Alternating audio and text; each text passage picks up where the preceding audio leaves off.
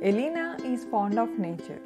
She loves to enjoy her leisure time in the gardens with big trees and flowering plants. One day, unfortunately, as she was walking through the trees, she accidentally disturbed a beehive. What would you do for escaping the bee attack? If you accidentally disturbed a beehive or wasp nest, do not run for the water. They'll wait for you to resurface and continue stinging you. Just run fast as far as you can because eventually they will stop following you.